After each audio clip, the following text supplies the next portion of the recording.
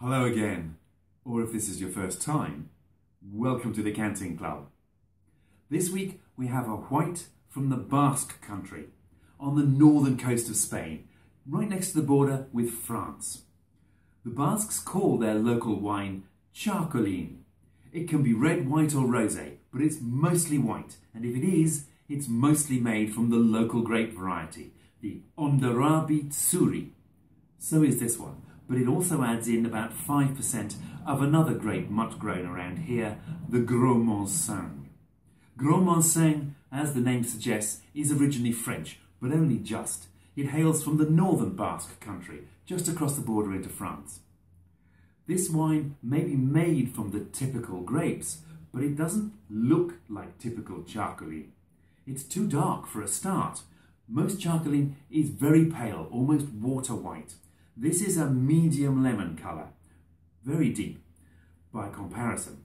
Most Txakolin also is a bit fizzy. It's got a, not like champagne, but with a little froth of dissolved CO2 to emphasise the freshness. I can't see any of that on this. There's no bubbles clinging to the side of the glass. So it looks unorthodox. How does it smell? Mmm. Now that's a wonderful nose and really different and distinctive. It's quite pronounced. It's filled with sharp citrus, lemon peel.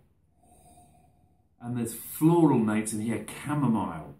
But the points of difference come with this pungent grassiness. It's like hay and hops. And there's even a whiff of petrol, which is a lot more appetising than it sounds. And that's all wrapped up in a sort of stony, leesy minerality, reminiscent of whetstones and damp plaster.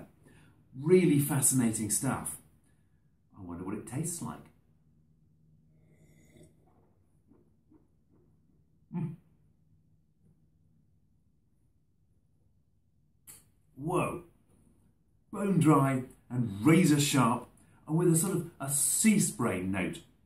This is a bit like being hit in the face by an Atlantic wave.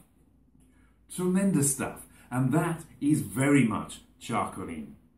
As is the citrus flavours, but they're not normally as intense as this. This has really powerful flavours of grapefruit, backed up by some green apple. It's light bodied, or maybe just a tiny bit more, but the flavour intensity is terrific, and that causes the finish to last and last. And on it, the grapefruit flavours are joined by some bitter almond quality, very appetising, and more of that saline mineral quality. Wonderful.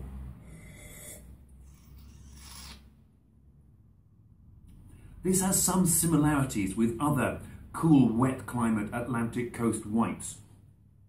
The sort of saline mineral quality is reminiscent of Muscadet from the mouth of the Loire in northern France, and that aromatic, citrus, razor sharp intensity is a bit like Vinho Verde from the northern coast of Portugal.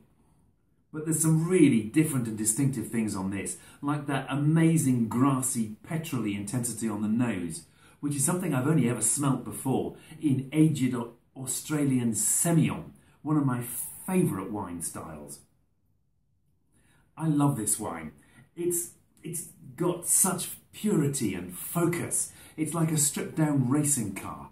Fierce intensity, clean lines, sharp edges, and not an ounce of excess weight anywhere. Beautiful.